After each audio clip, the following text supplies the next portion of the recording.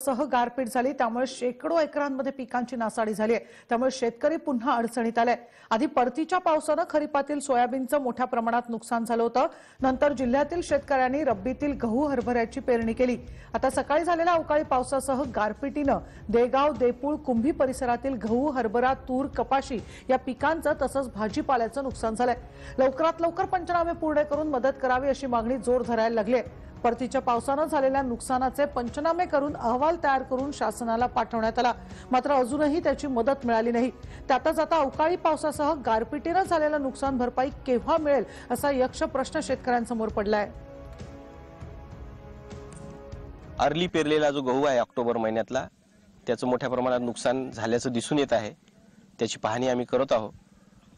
याबरोबरच शेतकरी बांधवांना अशी विनंती आहे की ज्यांचं थोड्या प्रमाणात नुकसान झालं असेल त्यांनी पिकांना उभारी देण्यासाठी किंवा पीक हाती येण्यासाठी बुरशीनाशकाची अवश्य फवारणी त्यावर करणे गरजेचं आहे.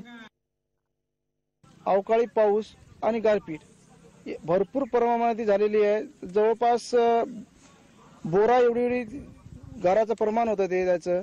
त्याच्यानंतर कसं जर गहू हरभरा तूर कांदा या पिकाचं नुकसान भरपूर प्रमाणात झालेलं आहे.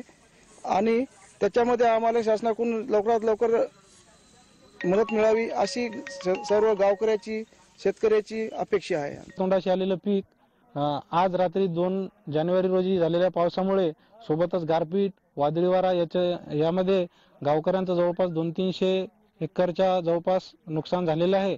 शासनाने या नुकसान झालेल्या शेतकऱ्यांची बांधावर येऊन शेतावर येऊन पाहणी करावी.